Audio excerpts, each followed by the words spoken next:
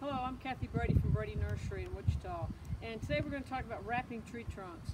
Um, the reason why you wrap tree trunks is you want to protect them from the winter sun, and we have what we call sun scald, and that freezing and thawing during the winter will cause the bark to crack, and it'll crack in the spring once the cells warm up. So, you know, we think about it, we'll have some really warm days, and then it gets down to 20 again, it gets real cold, so you have to think about wrapping them. And we like to wrap from the ground up through the first set of limbs and we overlap it, make a double layer as we're going up the trunk, you know, protect that tree trunk.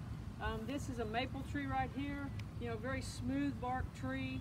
Your younger trees have smoother bark and we recommend wrapping them for at least two years and you can take it off in the spring or summer and then rewrap in the fall.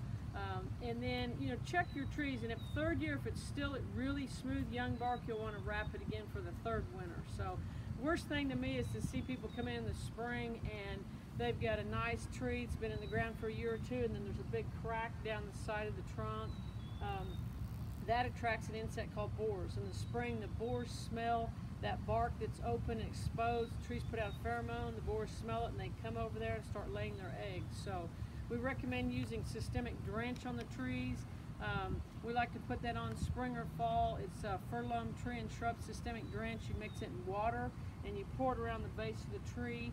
Um, on older existing trees, if you're having problems with insects, you can put on older trees also. If you have any tree needs or questions about tree care, you can contact our staff at Brady Nursery um, or come in, you can visit us on Facebook or even on our website at bradynursery.com.